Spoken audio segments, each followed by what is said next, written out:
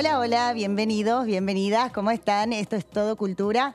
Yo soy Maya Kersen, los voy a estar acompañando en este programa que no saben lo que es hoy. Es increíble porque tenemos visitas en el piso, vamos a estar hablando con distintos entrevistados y entrevistadas, vamos a estar hablando con el director de cine Fernando Spinner por Ciudad de Pobres Corazones que se estuvo proyectando en un nuevo ciclo de cine de la Biblioteca del Congreso de la Nación.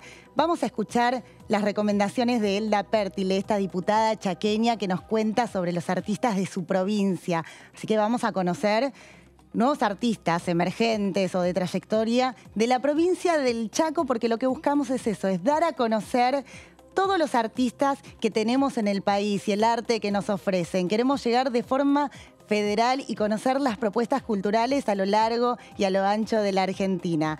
Vamos a conocer también en el programa de hoy curiosidades del Congreso, esas historias que no sabías que existían, pero las vas a conocer acá en Todo Cultura.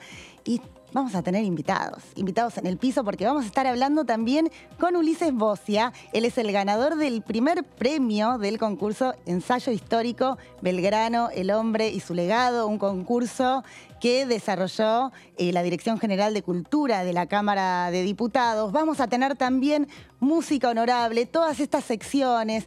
Pero antes de meternos de lleno, bueno, les cuento que esta semana se entregaron los premios del concurso Ensayo Histórico Belgrano, El Hombre y su Legado. Estuvimos presentes en la entrega de premios y reconocimientos tanto a los ganadores que estuvieron concursando y también a los jurados y juradas que fueron los encargados de, bueno, seleccionar las obras finalistas. Vamos a estar hablando con el ganador del primer premio pero antes, como estuvimos en el evento, hablamos con Natalia Calcaño. Ella es la directora general de la Dirección General de Cultura de la Cámara de Diputados. Vamos a ver lo que nos contaba.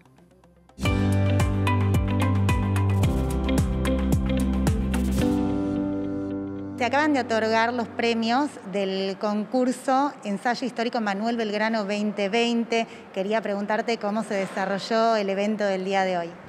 Bueno, gracias este, por, convocarnos. No, muy contentos, muy contentas todos porque hoy pudimos finalmente hacer una entrega presencial de este concurso que se inició en alrededor de junio de 2020 cuando hicimos esta convocatoria, un concurso de ensayo histórico sobre Manuel Belgrano, El hombre y su legado, fue el título del concurso, en donde se presentaron, a pesar de la pandemia, fue justo cuando empezábamos en pleno ASPO, el aislamiento social preventivo obligatorio, hicimos una convocatoria que se pudo hacer de manera digital, convocamos a un jurado de lujo, la verdad, de cinco miembros muy interesantes que también hicieron toda la lectura previa y las primeras reuniones a través de formato virtual y bueno, esto se fue demorando un poco producto de la situación sanitaria, pero hoy finalmente pudimos hacer entrega de los premios, del primero, segundo y tercer premio y tres menciones honoríficas a los seis ganadores y ganadoras de este concurso. Interesantísimo, la verdad, en torno a la cantidad y la calidad de las obras que se presentaron.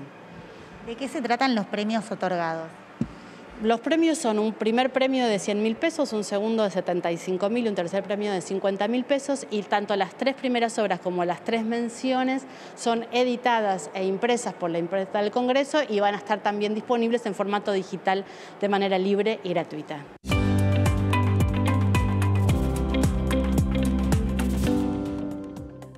Bueno, estoy con un amigo ahora, aunque ustedes no lo crean, estoy con un amigo porque el ganador del concurso Ensayo Histórico Belgrano el Hombre y su legado era compañero de banco del colegio secundario, Ulises Bocia. ¿Cómo estás, Uli? Tanto tiempo. ¿Cómo andas, Maya? Bien, una, sorpresa bárbara.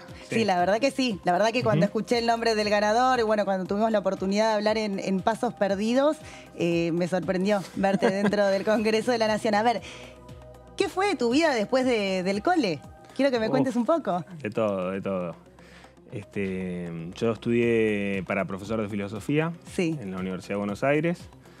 Este, mientras trabajaba de muchas cosas, de otras cosas en un banco, de un montón de cosas trabajé. Este, y bueno, y después ahora también soy docente, también de filosofía, después estudié historia económica, digamos que todo lo que sean humanidades y historia en general es algo que a mí me encanta.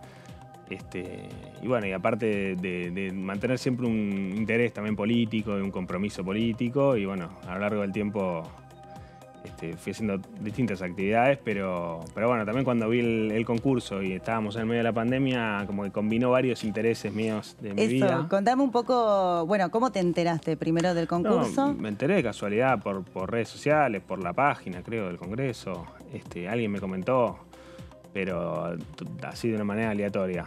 Y, ¿Cómo decidiste participar y cómo fue bueno, la presentación? ¿no? De, ¿Cuáles eran eh, las normativas para poder participar también? No, o sea, en realidad el concurso es abierto y yo nunca había participado en ningún concurso, honestamente. ¿no? Mira.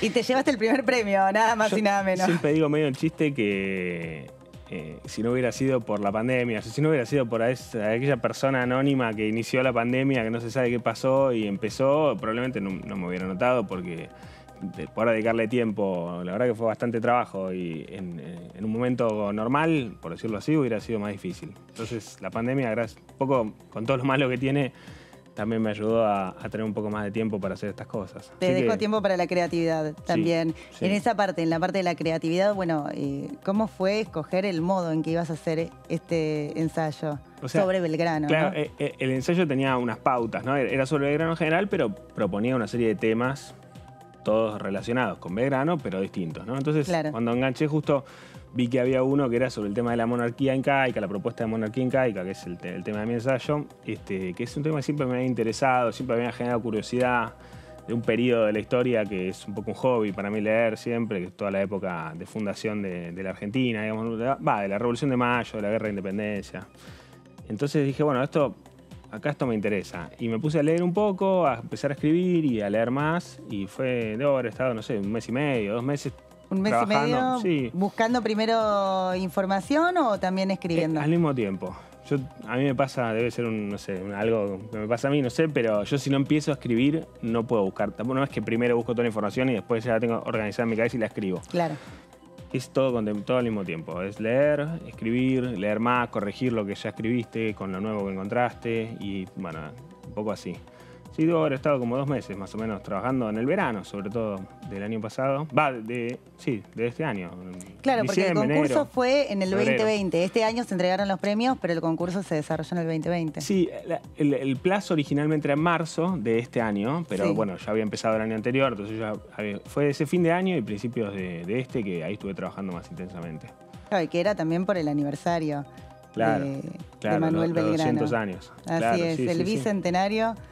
De la muerte de, la muerte de Manuel Belgrano. Sí, sí. Era incluso el año, ¿no? Legalmente, sí. ¿Qué fue lo que más te llamó la atención al investigar eh, la vida de Manuel Belgrano? O sea, yo de lo que investigué, a mí lo que me interesaba es. Es muy extraña la propuesta esa de que la Argentina hubiera tenido una. Primero que fuera una monarquía y no una república, y después que fuera un Inca, el rey, este, y no un príncipe europeo, una princesa europea, como, como se decía. Eso ya es extraño, hoy parece algo extravagante, no se entiende bien si lo dijo en serio, por qué, bueno. Entonces ahí ya hay un trabajo de contextualización que a mí me parecía interesante, pero me interesó hacerlo desde el punto de vista criollo, digamos, de, los propios eh, dirigentes de la revolución, sí. y también de tratar de entenderlo desde el punto de vista indígena, de qué podía significar para las propias comunidades indígenas una propuesta como esa. Es mucho más difícil porque la historia está escrita desde el punto de vista este, de, la, dirigencia criolla. siempre, de la dirigencia criolla, de digo, hay una... de los propios, porque si uno nunca desde los pueblos autóctonos. Claro, claro la, mirada originaria de un proceso como ese, bueno, era, para mí era un interrogante total. Entonces ahí me puse a investigar, encontré un trabajo muy interesante de un de un intelectual peruano que se llama Alberto Flores Galindo, que trabaja la idea de la utopía andina. O sea, todo lo que significó para el, para el punto de vista ¿no? Eh, indígena andino, que es uno de tantos, ¿no? pero bueno, acá el más relevante, o sea, el que tiene que ver con, la propuesta incaica, ¿qué significaba para ellos el retorno de un inca al, al, gobierno, al poder? O sea, que era una, idea que iba y reaparecía a lo largo de los siglos. O sea, después de la conquista hay una, empieza a aparecer un mito de, bueno, va a volver un inca, va a volver y va a restaurar la justicia, porque la conquista había significado un despojo, una injusticia muy grande, se había de alguna manera destruido un orden previo, ¿no? Totalmente. O sea, hay una, se empieza a reconstruir esa imagen. Había un orden previo que era más justo y la conquista lo destruyó. Que después no se sabe si el orden previo realmente era más justo para esas mismas comunidades, pero es la reelaboración que se hizo. Claro. Entonces, la vuelta del Inca parecía como una oportunidad de restaurar la justicia en el mundo. Claro, de reivindicar los valores que, que, venían desarrollando previo a la conquista, claro. Sí, sí, una reivindicación identitaria muy fuerte y ese, ese mito, ¿no? Va a volver, va a volver un Inca, aparece en un montón de episodios sociales a lo largo de como 300 años. Y con, esa, con ese mito que tenía una presencia en la subjetividad indígena, ahí contacta la propuesta de Belgrano, ¿no? O sea, él pensaba que era una propuesta que podía tener eco desde el otro lado. No era una cosa que se le ocurrió de la nada, bueno, a ver, intentemos a ver qué pasa. Era algo que se, relacionaba con, todo un movimiento social larguísimo. De hecho, pocos años antes de la Revolución de Mayo y del inicio de toda la Guerra de Independencia está la famosa, el famoso movimiento de Tupac Amaru, ¿no? Sí. Que fue una cosa muy grande, eh, con un epicentro andino, este, muy, muy grande. Bueno, era, fue uno de los episodios donde, porque Tupac Amaru decía ser heredero de la casa incaica, ¿no? Sí. Como muchos otros. Incluso yo descubrí, leyendo un poco, algo que me pareció impresionante, que es que eh, los propios herederos de, los incas, digamos, de, los incas no, no de, la, de, la, de, la, comunidad, sino de, los dirigentes de los dirigentes. la, dinastía incaica, ellos de la casa hacían trámites, claro, hacían trámites y le pedían a la corona española que reconozca que ellos eran los herederos durante, durante siglos. O sea, se mantuvo. Había, había una idea de mantener la como los papeles eh, de, que ellos eran herederos. Eh, simplemente, sino que era algo que en la práctica se llevaba a cabo también. Sí, sí, muchas veces de maneras este, muy rebelde, en, contradicción con el orden colonial. Sí. Y otras tratando de, encontrando también negociaciones, ¿no? Porque también ellos aprovechaban y decían, bueno, nosotros no somos un indígena cualquiera, nosotros somos herederos de la, de la casa incaica. Entonces, bueno, había, había de todo, ¿no? Pero la, estaba presente la idea del retorno del Inca. Entonces Belgrano contacta con esa tradición, que era una tradición popular en el mundo andino, popular indígena en el mundo andino. Y al mismo tiempo tenía un sentido político en el marco de una guerra, ¿no? que eh, nosotros conocemos la historia de que la guerra de independencia estaba frenada en el Alto Perú y no, no podía avanzar. Hubo, muchos intentos desde la conducción del proceso revolucionario acá en el Río de la Plata de avanzar hacia el Alto Perú, porque no era una zona menor. Ahora nos cuesta verlo, pero en ese momento era el centro económico. Era el centro, sí. Era, bueno, político era muy importante, pero, sobre todo económico. Era toda la economía virreinal en gran medida orbitaba alrededor del Alto Perú. Entonces era un lugar muy importante, estratégico para la revolución. Y la cosa era, bueno, ¿cómo hacer para ganar la guerra ahí en el Alto Perú. Entonces también era una propuesta, esto ya desde el punto de vista de, la propia dirigencia revolucionaria, decir cómo hacemos para ganar ahí. Bueno, lo que podemos hacer es proponerle a las comunidades indígenas que si se suman a la revolución, bueno, el nuevo Estado los va a reconocer y no los va a reconocer simplemente en las palabras, sino que el propio monarca va a ser un monarca indígena entonces también tenía un sentido táctico en, el contexto concreto de la, guerra, que también es interesante. Por eso San Martín la apoyó, por eso Güemes la apoyó, la propuesta, digamos, cuando Belgrano la hace, tiene un primer respaldo. Tuvo un aval, sí. Sí, sí, sí. Porque lo veían como una alternativa concreta, no solamente de reivindicación histórica, ideológica, sino, en todo caso, más circunscriptamente al momento, como una manera de avanzar para la revolución que estaba en una situación muy adversa en ese momento. ¿Qué fue lo que encontraste bueno, al, desarrollar este proyecto, este ensayo, que, tal vez no sabías antes y te sorprendió realmente la investigación? No, bastantes cosas me sorprendieron. A ver. Este, sí, sí. Y bueno, todo esto, la dimensión de la utopía andina, me, encontré de todo. Eso es un punto que, que además, si uno piensa experiencias como la de Evo Morales más contemporánea, todo eso de alguna manera está en el aire dando vueltas, ¿no? Eh, no sé si recordás, pero Evo Morales cuando asume la presidencia por primera vez hace una ceremonia en Tiahuanaco. Ah, hay una simbología que tiene que ver con... Porque la realidad es que después de la, propuesta de verano obviamente fracasó, fracasó rotundamente, y las repúblicas que se construyeron después fueron repúblicas que en gran medida excluyeron a las poblaciones originales. Todavía hoy hay un problema muy serio y hay una permanentemente hay conflictos sociales que tienen que ver con el reconocimiento de, de sus tierras, de su identidad, de su cultura, etcétera. Entonces, todo ese tema para mí es muy actual y está muy vinculado. Y después es interesante también la justificación histórica en el discurso político que había en ese momento, porque yo no conocía que la, propia revolución eh, tenía muy presente la cuestión eh, incaica en el discurso político. Por ejemplo, en el himno argentino, en la versión, porque el himno nuestro, nosotros cantamos solo una parte. Es una versión acotada del himno. Claro, en la versión más larga hay referencias a los incas, en el propio escudo nuestro nacional, el sol de la bandera es un sol de origen incaico. Hay una, en esa época hubo, o sea, eh, un poco en el discurso político se buscó justificar el movimiento que estaban eh, iniciando en función de toda esa trayectoria anterior, de toda esa tradición. O sea que había una búsqueda explícita en lo discursivo y después, muy interesante leer a Bartolomé Mitre. Bartolomé Mitre es uno de los fundadores de la, historiografía, o sea, uno de los que narró, tiempo largo después, ¿no? O sea, varias décadas después, bueno, él, empezó a escribir, uno de, los, primeros que empezó a escribir la historia argentina. Sí. Ya desde la fundación del Estado argentino, en otro lugar de la historia, bueno, hacer una narración sobre lo que había pasado, el mito de fundación de la Argentina. Entonces es interesante los trabajos de él. Y él se dedica explícitamente a decir que era un delirio, lo que decían. O sea, el vínculo entre eh, el pasado incaico y la Revolución de Mayo, hay un capítulo de su propio libro, de la historia de Belgrano, ¿no? Es, donde él dice, esto es un delirio, estaban re locos, no... Eh, se dedica a atacarlo, pero sistemáticamente. ¿eh? O sea, disolver cualquier vínculo posible. Un claro opositor a esa visión. Sí, a esa mirada. Que tenían. En realidad somos, porque había una idea, ¿no? Construir la Argentina sobre una base europea. Entonces, negar cualquier vínculo histórico entre el mito fundacional de la nacionalidad, que era la Revolución de Mayo, y el pasado originario americano. Pero es, a mí lo que me Yo sabía un poco intuitivamente que era así, sí. pero está escrito de una manera muy explícita, muy explícita. O sea, hay, una, hay un combate ideológico. Entonces la propuesta de Belgrano la ridiculiza totalmente, Mitre. Mira, te tengo que, tengo que confesar algo, Fabi, te voy a mandar al frente. Digo, Fabi es, nuestro productor ejecutivo porque dice, me encantó esta nota, es la mejor del programa hasta ahora, te lo tengo que decir porque la verdad lo que estamos aprendiendo, aparte Ulises, con lo que nos estás contando, en este detalle, ¿no? De, de la historia de esta tradición incaica y de Manuel Belgrano. Este, así que te agradezco muchísimo. Yo te quiero hacer una pregunta porque sabemos que el ensayo, bueno, acá nosotros tenemos un montón de libros de la editorial de la Biblioteca del Congreso de la Nación. Entiendo que dentro de los premios, vos te llevaste el primer puesto del concurso, eh, incluye la publicación del libro.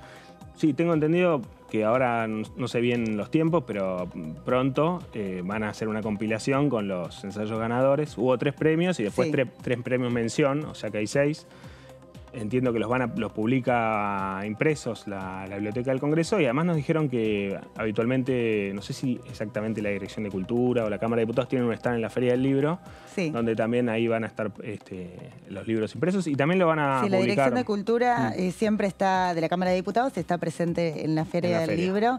Así que seguramente con la Biblioteca del Congreso de la Nación eh, tengan ahí la oferta de su propia editorial con todas estas propuestas, la de los ensayos históricos que participaron del concurso. La última preguntita para cerrar, Juli, que te quiero hacer es, eh, ¿tenés en vista algún nuevo escrito? No sé, eh, ah, tengo, tengo en mi cabeza, estoy cerrando una, una maestría y estoy como muy concentrado en eso, así que esto fue como un recreo, pero ya voy a volver. Además es un estímulo que reconozcan algo que escribís, siempre es una alegría, te da ganas de seguir escribiendo. Sí, totalmente. Te felicito, te felicito, de verdad. Muchísimas gracias por venir hoy. Hermoso reencontrarte y bueno, hasta la próxima. Nos vamos a cruzar aquí en los pasillos de, la Cámara Baja seguramente. Ojalá, bueno, gracias a ustedes por la invitación. ¿eh? Muchísimas gracias. obviamente. gracias. Y bueno, ahora vamos, como les anticipé al comienzo del programa, Vamos a conocer artistas de otras regiones. Queremos conocer esos artistas emergentes y quien nos cuenta el día de hoy, a quién podemos escuchar o leer, es la diputada nacional Elda Pértile, que estuvo hablando con nosotros para hacer las recomendaciones. Vamos a escucharla.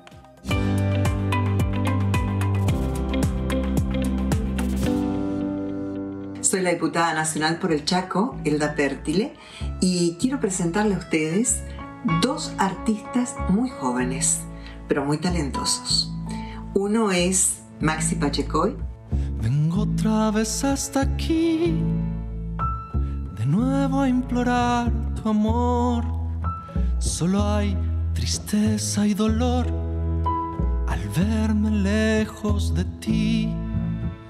Que es músico, es compositor, es cantautor y que recientemente ha presentado su disco El Secreto, donde hay clásicos del folclore nacional con artistas invitados.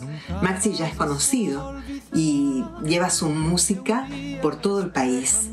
En el caso del otro joven es Lucas Pértile, que es pintor, que desarrolla técnicas mixtas como es la acuarela, el acrílico, el pastel, pero lo más importante que lleva su chaco de aquí para allá por todos lados su naturaleza, los protagonistas de la naturaleza, los animales, y el color explota en sus cuadros.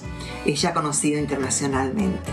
Yo creo que son dos jóvenes que vale ser conocidos y que tienen una vida artística en ascenso.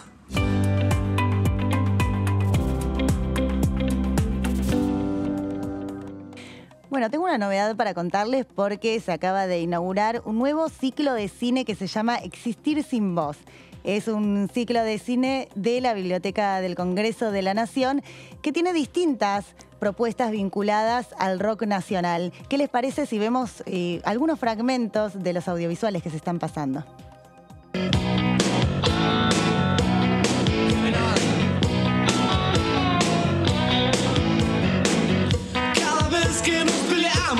Vez que estamos bien. Cada vez que lo encontramos lo volvemos a perder. Cada salto en el vacío es una cuestión de fe.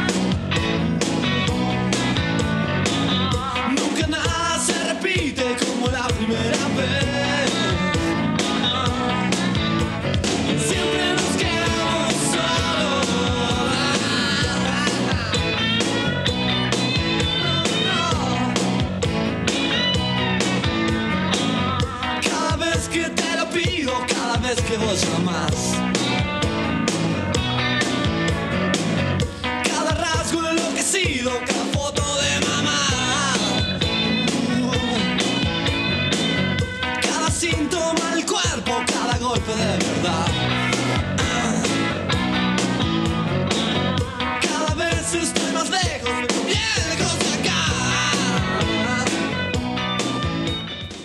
Qué lindo, ahí estábamos viendo imágenes de Ciudad de Pobres Corazones, eh, un film de Fernando Spinner que se está, se está emitiendo en el ciclo de cine Existir sin voz, que forma parte de la muestra Patrimonio Rock de la Biblioteca del Congreso de la Nación, basada e inspirada en eh, músicos destacados de nuestro rock nacional. Y lo tenemos a Fernando Spinner, ¿cómo estás?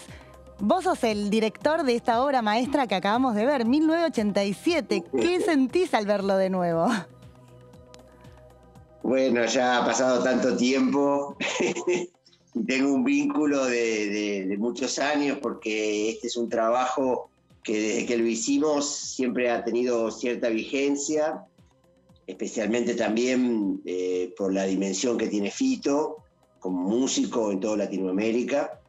Este, pero también siento mucho, mucho cariño y mucho afecto, por sobre todo porque eran mis principios como, como director de cine, era la vanguardia del video en, la mitad de los años 80 y fue una experiencia muy linda, fue una experiencia muy intensa y, muy linda del vínculo que tuve con, con el rock en esos años. ¿no?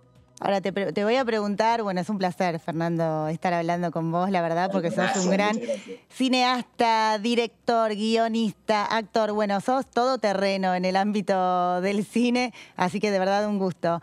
Quería preguntarte porque, bueno, vos recién hablaste de Ciudad de Pobres Corazones diciendo que se vivió de forma intensa. ¿A qué te referís con intensidad? Bueno, era, era la mitad de los años 80, todo era muy intenso y a la vez este, yo venía de, trabajar, eh, más, más, concretamente era el año 87. Yo venía de estudiar cine en Italia, en, el Centro Experimental en Roma, en Cinecittà. Sí. Este, y Marcelo Figueras me presentó a Fito y a través de Fito conocí a, Luis Alberto Spinetta. Y, bueno, a, Fito lo, lo, estaba conociendo en ese momento, había escuchado algunas cosas pero yo había sido muy fanático de Spinetta este, toda mi adolescencia, así que fue como un, regresar a, Buenos Aires en los años este, febriles del regreso a la democracia, porque para mí era así, el, regreso efectivo a la democracia, yo estaba en, Roma todavía, y bueno, fue, fue intensísimo, además porque asumí la responsabilidad de hacer esta película eh, con, este, con recursos del video, que era el momento eh, en donde el video estaba ocupando un lugar que saca, lo sacaba de la televisión. Antes el video era patrimonio de la TV y el cine era patrimonio del celuloide.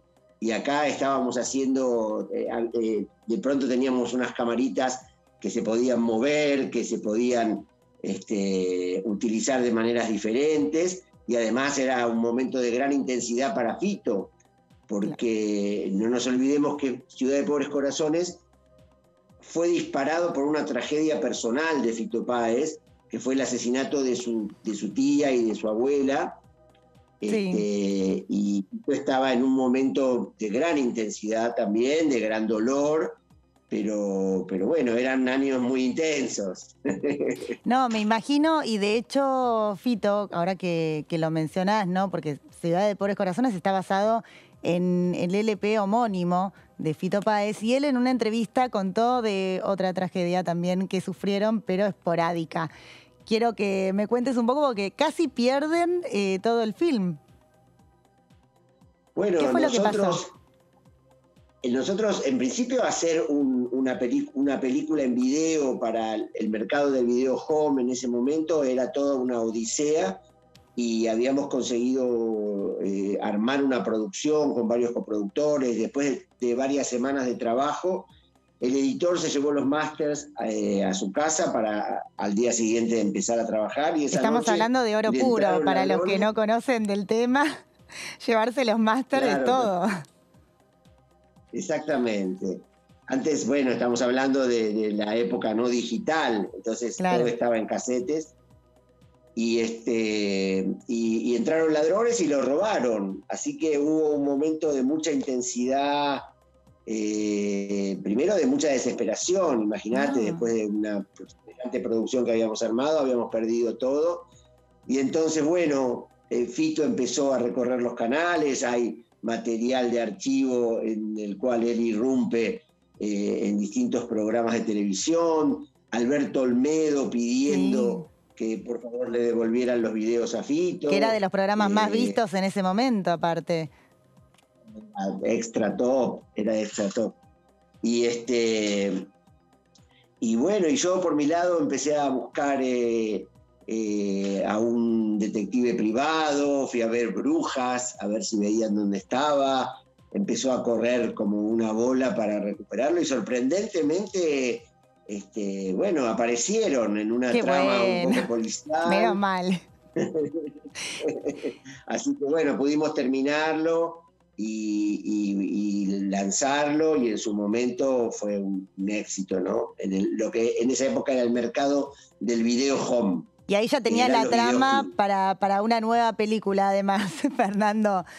Efectivamente, efectivamente. Cada vez que nos vemos con Fito le digo, tenemos que hacer esa película de los 80. Robos, detectives privados, bueno, todos eh, los vaivenes. Pero bueno, hablando de nuevas películas, igual vos estrenás una peli nueva el día de mañana, el 2 de diciembre, que se llama Inmortal. ¿Qué te parece si vemos el tráiler? Excelente.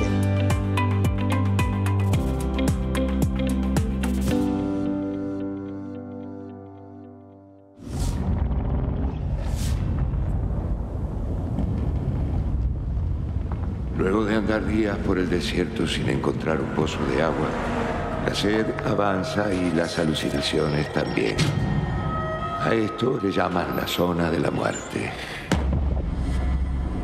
Cuando tu papá murió, ¿vos dónde estabas? Me traicionó el inconsciente.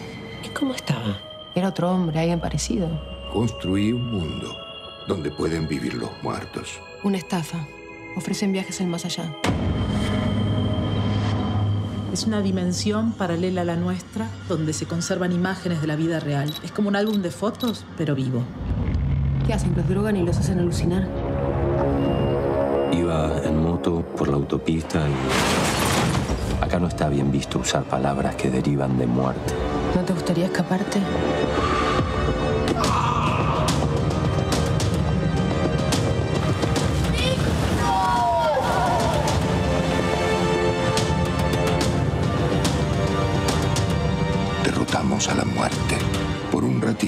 Pero hasta ahora nadie había llegado hasta ahí.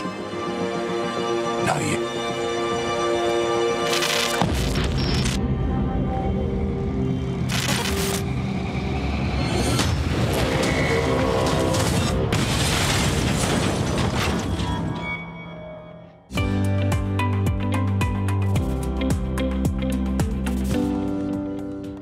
Bueno, me encanta el tráiler que acabamos de ver. Tenemos de todo. Tenemos una ficción con efectos impresionantes y un elencazo. Fer, contame un poquito, eh, bueno, ¿qué se depara para el estreno de mañana?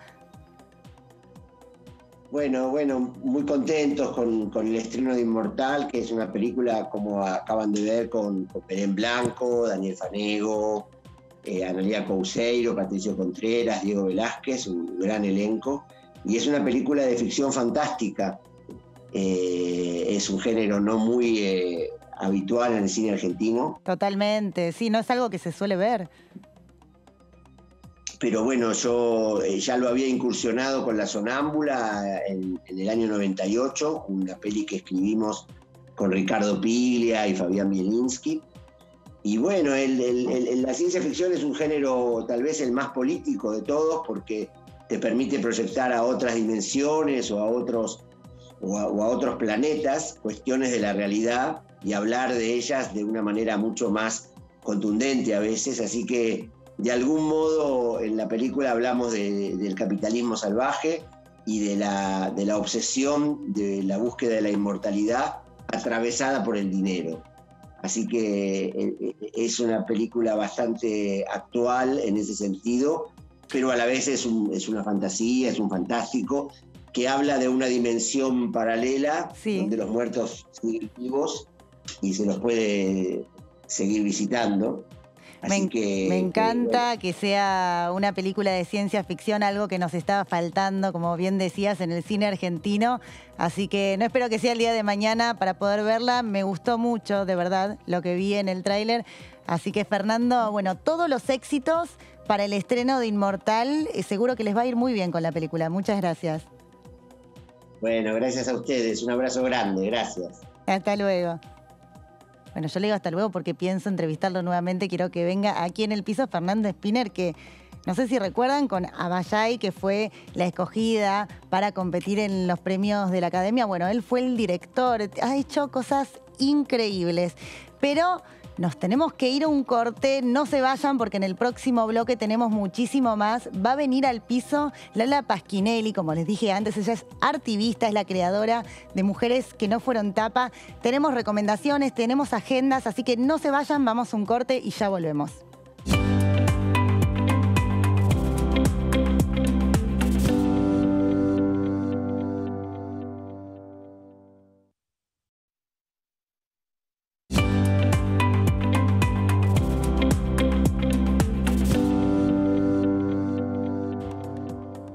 Bueno, quiero contarles que estuvimos en la Biblioteca del Congreso de la Nación en la presentación de dos libros de la reconocida escritora Zulma Prina. Ella presentó El mestizaje en América, mito y realidad en José María Arguedas y también el libro Papeles en Blanco. Quien estuvo en la presentación fue nuestra compañera Luciana Fernández y habló con Zulma Prina. Vamos a ver la nota.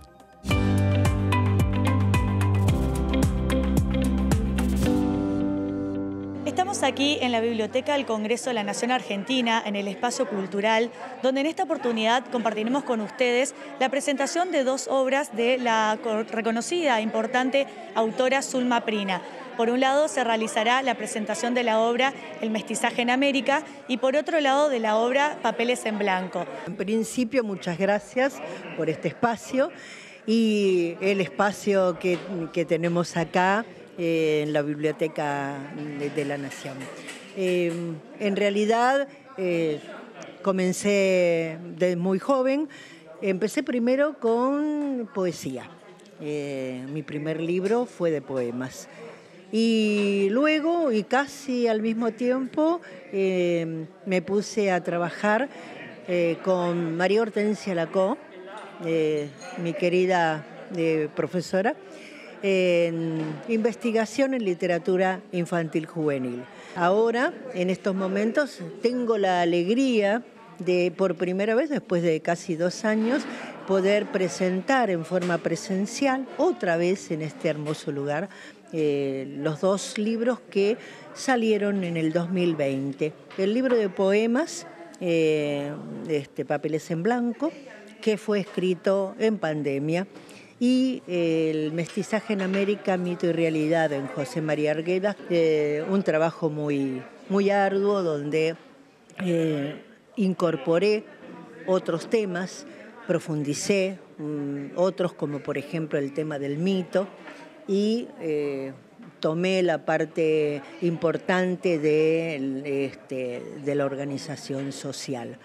Eh, o como dice Gombrowicz, este, la desorganización social en Latinoamérica.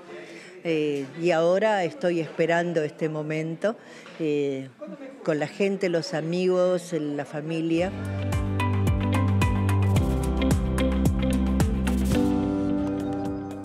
Y ahora sí, estamos con ella, con una artista visual, activista, comunicadora argentina que creó Mujeres que no fueron tapa, una crítica a la representación de la mujer en los medios de comunicación y una valorización de todas las mujeres que no aparecemos en las tapas de las revistas. Estamos con Lala Pasquinelli. Lala, ¿cómo estás? Hola, ¿qué tal? Buen día. ¿Cómo están? Muy bien, bienvenida a Todo Cultura. Bueno, en principio me da mucha intriga preguntarte por el concepto de mujeres que no fueron tapa. ¿Cómo surgió? Bueno, eh, a partir de esto, ¿no? de la observación y del registro de la falta de representación eh, de mujeres diversas, digo, no, solo diversas en cuanto a sus corporalidades, sino sobre todo en cuanto a sus historias. ¿no? Yo empecé a trabajar eh, en este tema en 2015 más o menos y mm, eh, lo que con lo que empecé a trabajar eran con las revistas. Y bueno, en las revistas solamente veíamos en las tapas modelos, eh, actrices, siempre todas muy jóvenes, ¿no? Digo, menos de quizás 35 eh, años, eh, o si eran más grandes, que parecían de, menos de 35, hablan, mostrando sus cuerpos, exhibiendo sus corporalidades hegemónicas, hablando del amor eh, y de la maternidad como, digamos, únicos, únicas autopistas a la realización y a la felicidad para las mujeres. Entonces, bueno, el proyecto nació a partir de ahí, digamos, ¿no? de, de ese trabajo, de, bueno, ¿dónde están las otras mujeres? ¿Quiénes son? ¿Quiénes somos? qué, mujeres nos interesaría conocer, ver, escuchar, cómo hubieran sido nuestras vidas si hubiéramos crecido escuchando y viendo eh, algo de eso y no, y no esto, ¿no? A mí, la verdad que sí, y me impresionó mucho porque te estuve viendo en una charla TED que diste en la charla TED del Río de la Plata, donde mostrabas diferentes tapas de revistas cuando aparecía una mujer y otras tapas de revista cuando aparecía un hombre. Y la representación era completamente distinta. ¿Por qué crees que se da esto? Bueno, porque lo que nos hace visibles es el cumplimiento del rol social, o sea, eso, esa, representación tiene que ver con la construcción de un ideal que permita que la sociedad se siga reproduciendo de la misma manera tal cual la conocemos, donde, bueno, algunas identidades sexuales tienen una jerarquía y otras están más desjerarquizadas, y el rol social que se les asigna a las personas por, la genitalidad con la que nacen, ¿no? O sea, si sos mujer, tu rol social es ser agradable a la vista y reproducir la especie, y si sos varón, tu rol social es desempeñarte en el ámbito de lo público, hacer el trabajo fuera del hogar, acumular riqueza, eh, exponerte al riesgo, ¿no? Todo eso que es necesario para que el sistema se reproduzca tal cual. Entonces, lo que va a ser visible a las mujeres es las que sean fieles eh, cumplidoras de ese rol, ¿no? Entonces, las que encajen, las que encarnen ese ideal de belleza, las que hablen y estén dispuestas a hablar de la maternidad y del amor eh, heterosexual y romántico como único destino para las mujeres, bueno, van a ser las que son visibles porque son obedientes.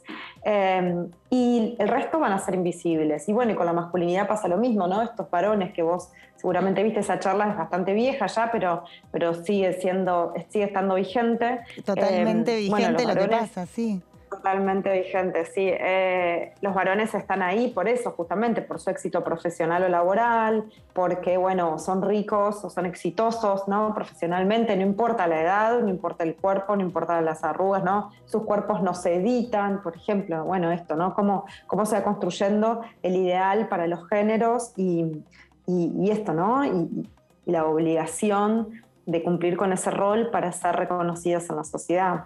Totalmente. Y yo me, pongo a pensar, porque vos sos una revolucionaria, en el ámbito de las redes sociales también, porque hoy en las redes sociales uno, por ejemplo, ve la cantidad de filtros que hay, de las personas que suben siempre fotografías que están completamente photoshopeadas o editadas o, filtreadas, vamos a inventar esta palabra. Eh, exactamente.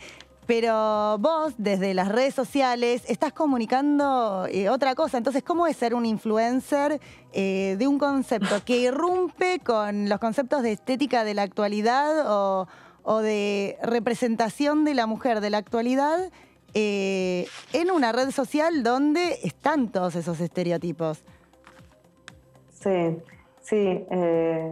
sí, no sé si me cabe lo de influencer, pero, pero eh, esto de, mm, a ver, podríamos decirlo también como comunicadora, pero comunicadora que aprovecha como herramienta eh, las redes sociales. Sí. Eh, no, no. Em, sí, la verdad es que, digamos, en, una, digamos, en un mundo donde cada vez las imágenes tienen más preponderancia, ¿no? En la construcción de los sentidos hoy los sentidos se construyen a partir de imágenes que, todo el tiempo nos están bombardeando, ¿no? Estamos con estos dispositivos que son, son superficies, como dice bien Chulhan, son superficies espejadas que hasta nos, reflejan y todo el tiempo están eh, reproduciendo imágenes e imágenes eh, y esas imágenes además no se nos parecen y esas imágenes aparecen, como vos decís, ¿no? completamente retocadas, pero a la vez nuestro, nuestro cerebro está procesando imágenes, no está procesando el texto de abajo que dice esta imagen ha sido retocada, no. Entonces, esas imágenes construyen la idea de lo que es bello, lo que es bueno, lo que es el éxito, lo que es la felicidad, etcétera. Y, ir en contra de esa construcción tan predominante de los sentidos es bastante difícil. Es un poco remar, digamos, en arena, porque, eh, porque sí, porque además hay todo un relato ahí atrás que es un relato de felicidad, que, es un, ¿no? Como una especie de. Una máscara.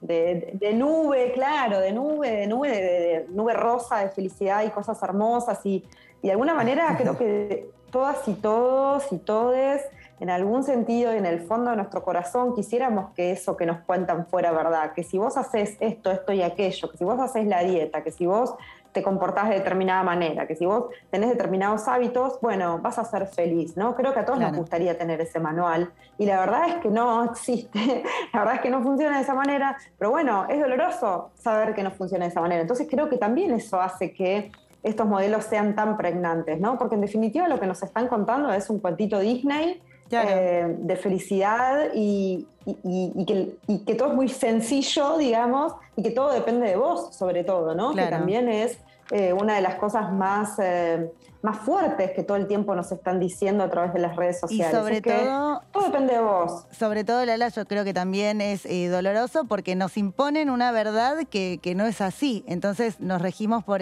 por estándares que están impuestos y no vemos la realidad de cómo somos. La verdad que eh, es bueno tener personas como vos que muestren otra perspectiva, la perspectiva también de la realidad, ¿no? De cómo somos las mujeres, para poder ir sacándonos prejuicios de encima. La verdad que esta charla es cortita, pero es un placer, así que te agradezco mucho por estar en Todo Cultura. No, gracias a ustedes. Un abrazo. Hasta un luego. Un abrazo grande. Bueno, muy interesante lo que nos cuenta Lala Pasquinelli. Síganla, está bueno lo que hace, hay que romper un poco con los estereotipos. Y ahora les voy a recomendar las propuestas culturales de la Biblioteca del Congreso de la Nación y de la Dirección General de Cultura para esta semana que está corriendo. En principio, la Biblioteca del Congreso recomienda para el martes 7 de diciembre a las 17 y 30 el ciclo de cine Existir sin voz, que forma parte de la muestra Patrimonio Rock que tiene la Biblioteca del Congreso de la Nación desde el mes de agosto. El martes 7 se va a ver el corto La Cueva de Jorge Guglielmi es un corto de 1962, un raro y valioso testimonio de la bohemia porteña y también se va a ver el mismo martes, 7 eh, de diciembre, el documental Miguel Abuelo et Nada, de Juan Manuel Muñiz Oribe y Agustín Argento. Es un documental del 2018 sobre, sobre el increíble disco que Miguel grabó en París en 1972. Por otro lado, vamos a las recomendaciones de la Dirección General de Cultura de la Cámara de Diputados, porque el viernes 3 de diciembre a las 7 y media de la tarde se va a realizar el concierto Abrazo para Astor de la Orquesta de Cámara del Congreso de la Nación. En el edificio del Molino se va a llevar a cabo este concierto. Es un homenaje al gran músico y compositor a 100 años de su nacimiento y tiene como invitado especial al bandoneonista Pablo Mainetti.